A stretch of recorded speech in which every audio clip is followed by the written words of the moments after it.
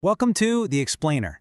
Today, we're going to crack open the black box that powers everything from hyper-realistic gaming to the entire AI revolution, the GPU. We're going to build a really simple but powerful mental model for how these incredible chips actually get their work done. So let's just kick things off with a pretty basic question.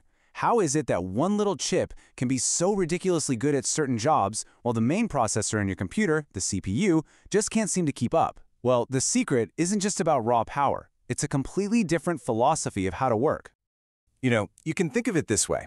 A CPU is a generalist. It's like a brilliant project manager that's optimized for what we call latency. It's designed to tackle one really complex task at a time and do it incredibly fast. A GPU, though, it's a specialist. It's built for throughput. Its entire goal is to handle thousands, even millions of simpler, parallel tasks all at the exact same time. To really get our heads around this, let's imagine the GPU as a massive, super organized factory.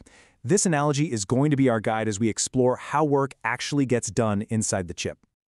Okay, so this slide right here, this lays out our entire factory analogy. And you'll notice two categories. The software concepts are like the project plan, the instructions. The hardware concepts are the actual physical parts of our factory.